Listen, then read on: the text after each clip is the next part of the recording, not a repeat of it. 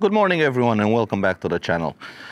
Now today I want to talk a little bit about uh, electric vehicles, electric scooters, electric bikes because I don't feature quite a lot of them on the channel and that's for a very good reason. Uh, I'm pretty passionate about uh, motorcycles in general, internal combustion engine, old vehicles like for example i rode my 31 year old transalp here which has a carbureted v-twin 600cc engine and uses about double the fuel it should be using. Basically it just spits out unburned fuel out of the exhaust which is not very good for the environment.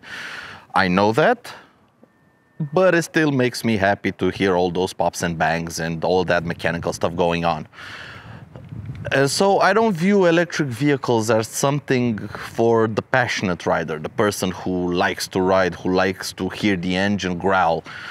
Uh, but as a means of getting around the city in an economical and environmentally friendly way, and a quick way, and a cheap way, electric vehicle vehicles are starting to present a pretty good uh, alternative to say your buses, your subway, your personal cars, stuff like that, especially electric scooters. And that's why today I have, uh, in the past, I have reviewed the Sim EX Pro. You can check out the video up here. Uh, but that's more towards the professional, towards the delivery person, towards the restaurant. That's geared for delivery work. What about the normal person who just goes to the office and comes back home? Maybe he doesn't want to carry 45 kilograms of stuff with him. Well, today we are going to look at the Daytona Edison 50, an electric scooter from a Chinese manufacturer that's, that comes in at a staggeringly low price of 2,300 euros, all in, and it presents a pretty good alternative to your ride sharing services, your Ubers, your personal car, maybe a personal motorcycle. It's a cheap way to get around the city quickly and efficiently. So today we're going to take a look at it as we usually do from front wheel to back wheel and let's get straight into it with the front end. All right, so starting up front, we have pretty tiny dinky 10 inch wheels, both in the front and in the rear. We have a full array of LED lights that's including LED turn signals, LED low beams, LED high beams, passing light, and a bunch of uh, two strips of LED daytime running lights. The suspension is nothing to write home about. Actually, you can see it's everything is made to, down to a cost, and uh, this is not something special in terms of passionate vehicles. Uh, this is just a means of transport. That's it. That's why you can see a fork that's basically the fork tube is barely bigger than my hand is. That's why you see the small tires.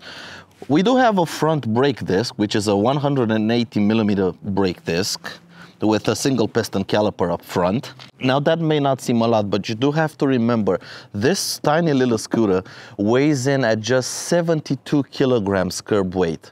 That's all in ready to ride with the battery and it's 72 kilograms. That's, if you thought the SYM Mio was a light scooter, that one, that scooter is almost 30 kilograms heavier than this is. Moving around to the cockpit and dashboard area, we have our mode switch. It has three riding modes, mode 1, mode 2 and mode 3. Basically this controls how aggressive the acceleration is. So we have our hazard lights. We also have a nice ticking noise for the hazard lights and for the turn signals. Uh, we also have we also have an engine start button. Uh, that's because when you turn it on, it goes through, it cycles through its dash, and you can see here there's a P, a red P. You have to hold down this button for about two seconds, and now it says ready. So now it's ready to ride. On the left-hand side, we have a horn button, pretty nice and uh, loud horn because this is an electric scooter and doesn't make any noise. You do, you do need a proper horn. Uh, our regular turn signals, left and right, Center to cancel, we have our passing light and our high and low beams. In terms of dashboard, we have our mode indicator. It shows which mode we are currently in. We have our odometer, we have an amp meter that basically shows how much power we're drawing out of the battery. We have our speed indicator and our battery meter. Unfortunately, we don't have a range estimate, but if you get to know the scooter, you're gonna pretty know how much range you still have on the battery. Further down, we have our ignition key, which is one of the cutest and stubbiest little keys that you have I have ever seen on a scooter. That's pretty much your key for the scooter. And it basically goes into the ignition and it controls the regular stuff. You, to the right, you turn the scooter on. Central is the off position. If we push it to the left, we open the seat. And if we turn the handlebars to the left and push it in, we lock our handlebars. We also have a luggage hook. This is where you can put a backpack or bag or something on the flat floor and you can uh, secure it on this luggage hook. And we also have a pretty decently sized cubby hole. And it actually fits something like a six inch phone. It feels, it fits really nicely in there. Now, coming around to the floor area, we have a flat floor, as I said before, and also we have a charging port for the scooter. That's in case you want to charge the scooter without taking the battery out. The scooter does come with its own charger, and uh, if you live like not in an apartment building, like in a house with a yard, you can charge your scooter outside in the yard, just plug it in right here, and you don't have to fuss around with taking the battery out. That's located here under the seat. Moving around to the back, we have the same tire size as we have up in the front, a 10 inch wheel. It's, I don't know, about a 90 millimeter wide wheel. It says 3.00 and uh, the width. We have very good uh, protection against water, against mud if it's raining outside. We have LED turn signal indicators, an LED rear light, both position light and brake light. We have a drum brake in the back and we also have our hub motor, which is a Bosch electric hub motor that's rated for 1.2 kilowatts or 1200 watts of power. Coming around to the seat, if we open it up, we see we have a decently sized storage area. We have our charger, which comes in this nice which comes in this nice little box. Let's open it up and see how the charger looks. You have this kind of charger. It's a Saus. Let's see how much. It's an output of 71 volts and 4 amp hours. That's the charger basically, and this is where it plugs in to the scooter. Also, we have a decently sized storage area. You won't fit your helmet in any way, shape or form, but you can put a couple of things down here. Uh, I don't think a laptop will fit, maybe something, maybe something like a small Ultrabook. But this we, here we have an off on switch. And if we pull out this piece, this black velvety stuff, we expose the battery cover. Now we open this up like this and we can see our battery in all its glory.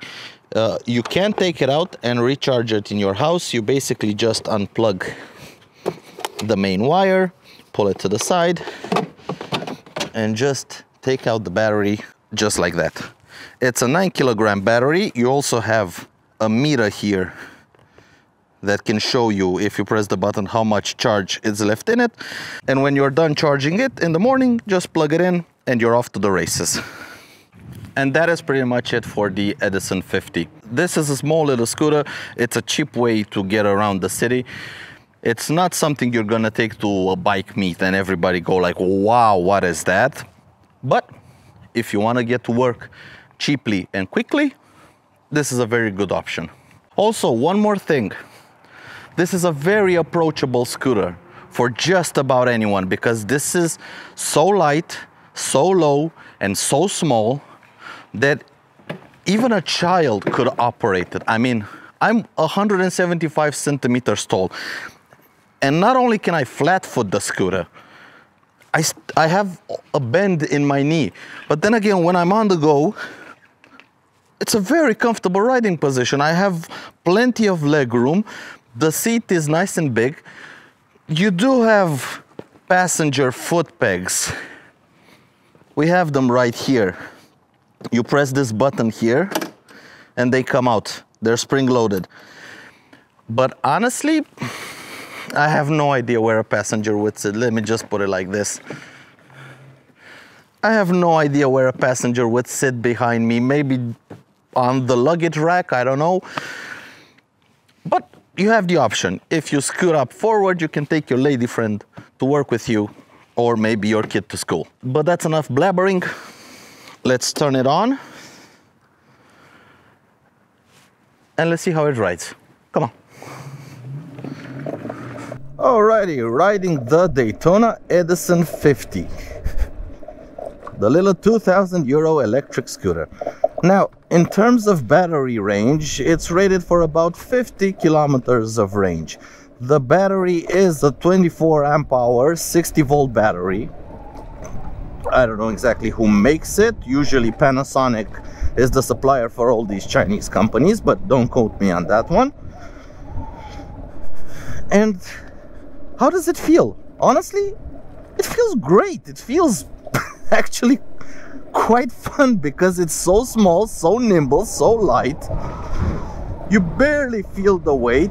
Now, the 10 inch wheels are a bit small for bumpy roads like we have here in Romania, in Bucharest, but honestly, with the weight of the scooter, it's not that big of an issue.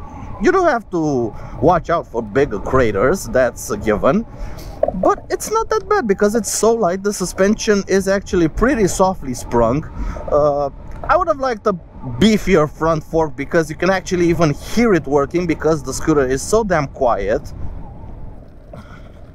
But like here bit of gravel no problem.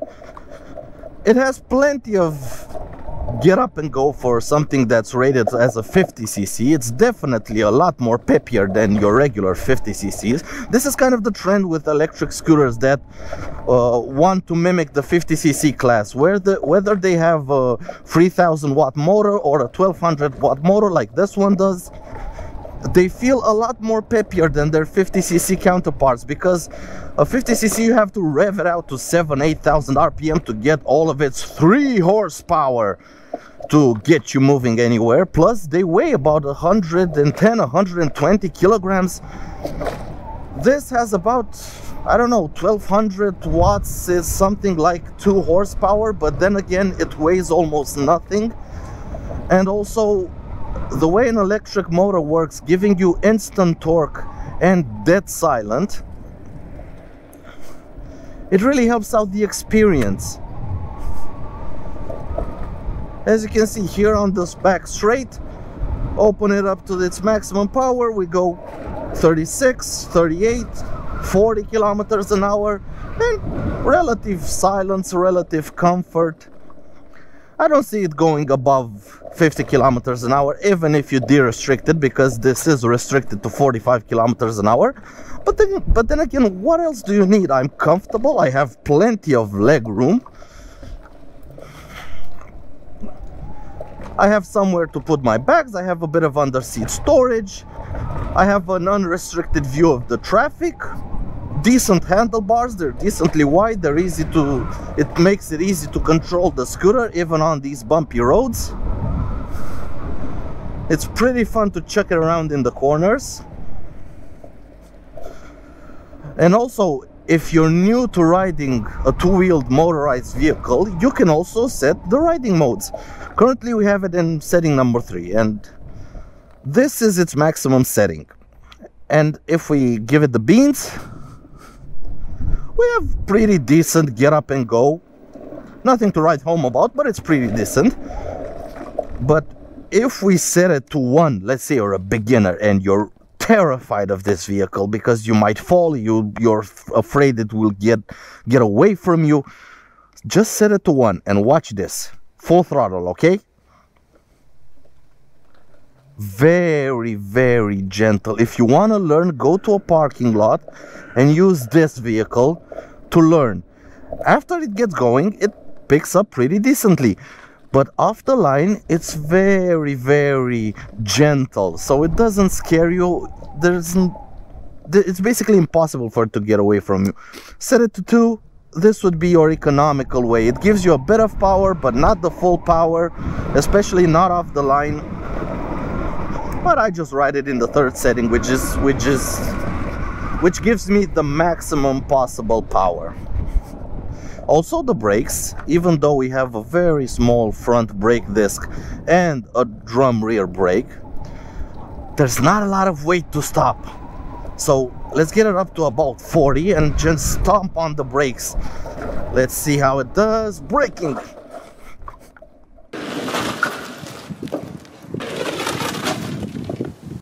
That's it from 40 that was like i don't know six meters? Seven meters the brakes are more than adequate for this class of scooter. Actually considering how much it weighs i weigh 40 kilograms more than this entire scooter which is amazing that i'm on a scooter and i'm the heaviest component here. Kind of makes me think I need to start losing some weight actually. But then again being so light that makes it very unintimidating. You can maybe you haven't ridden in your life a scooter and you're afraid to buy one. You would like one to go to work and back but you're afraid of them. They're like big motorcycles. You don't have any training on two-wheel vehicles. You're scared of them. Well if you know how to ride a bicycle believe me you will be able to ride this. No problem no problem whatsoever.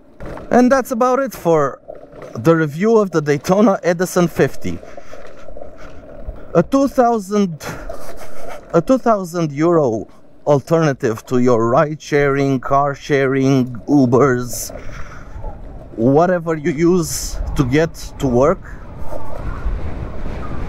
A nice little option, 50 kilometers of range, gets you to work, gets you back home. You can do a bit of grocery shopping in the evening when you come home. And basically you get to work with, I don't know how much the electricity would cost, a couple of cents per day to get to work, maybe even less, you can basically consider it free transportation. You just have to pay the upfront cost of 2,300 euros to buy it, and after that, you're free to ride, to get around the city for free, almost for free, and have quite a bit of fun in the process. But thank you everyone so much for watching and I'll catch you guys in the next video.